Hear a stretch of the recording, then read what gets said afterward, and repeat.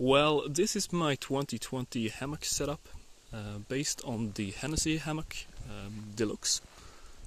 Uh, new to this uh, year is the DD uh, Slings. Uh, works fantastically. I've been out on my bike now for a couple of days, and well, they're really worth the investment. Also added the DD, uh, the DD tree straps for some extra length.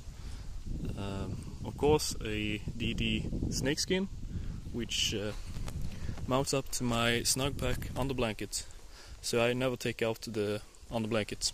Just stuff it in a stuff sack and on the bike. Uh, here's a little tip for you guys: if you ever come around a big tree and you can't quite reach around, uh, here's uh, how you can solve that problem. As you can see I've looped the whoopie sling to the carabiner and then placed the hammer strap through there. Just a little bonus tip for you guys. Also have a DD hammock tarp which I'm gonna set up right now. So yeah, here's the DD hammock XL tarp. It's a four and a half by three meters. Actually have it double up just for some wind protection. Gonna cook me some food here.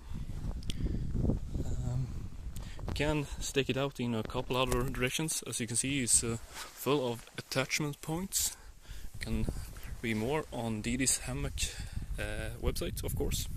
Uh, sometimes when it's really rainy, I stake it out, uh, tie it out to a couple of trees, uh, so I can put my bike under there, just for some added uh, protection for the water. Saves my ass from getting wet on the drive home. So yeah, hope you learned something. Thanks for watching.